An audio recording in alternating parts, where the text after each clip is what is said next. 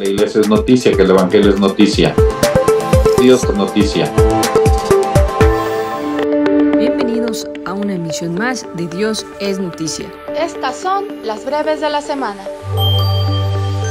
La comunidad del Seminario Menor Palafoxiano de Puebla y la comunidad estudiantil del Bachillerato José Ignacio Márquez han encomendado a Dios su trabajo recibiendo con gozo a Monseñor Víctor Sánchez Espinosa, arzobispo de Puebla, quien bendijo las instalaciones y el oratorio del bachillerato. En las palabras que Monseñor dirigió a los alumnos y a los formadores, recordó al cuarto arzobispo de Puebla, don José Ignacio Márquez y Toriz, creador de las instalaciones, y animó a la comunidad estudiantil a continuar con sus estudios y a esforzarse todos los días para progresar en la vida educativa.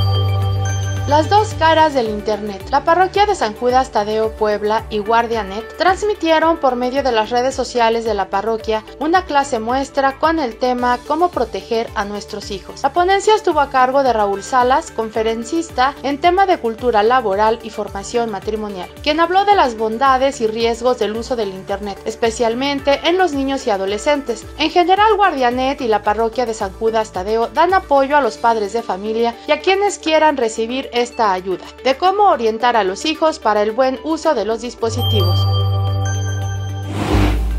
Los días 22, 23 y 24 de febrero se realizará el 17 Encuentro de Centros de Cultura y décima jornada de la familia, que en esta ocasión presentan la temática Vocación al Amor y los desafíos de la vivencia de la masculinidad, como un espacio para dialogar sobre la vida, la familia y la dignidad de la persona enfocadas en la masculinidad. Súmate a este encuentro de modalidad híbrida. El acceso es gratuito. Te puedes inscribir en la página web www.upae.mx diagonal centros de el próximo 25 de febrero se celebra la fiesta del Beato Sebastián de Aparicio, quien fuera un fraile franciscano que trabajó fervorosamente por los más necesitados. Ese día se llevarán a cabo varias celebraciones eucarísticas en el Templo de San Francisco, en honor al Beato. Serán a las 7 y media, 8 y media y 11 y media de la mañana, también a las 12 y media, 1.30 y 6 y media de la tarde.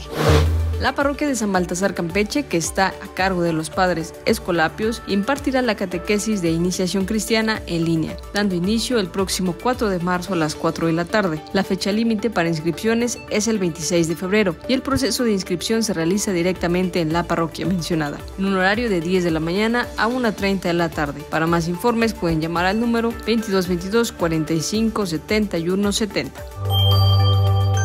Agradecemos nos hayan acompañado en esta emisión. Informó Vicky Pérez y Erika Rodríguez. Hasta la próxima.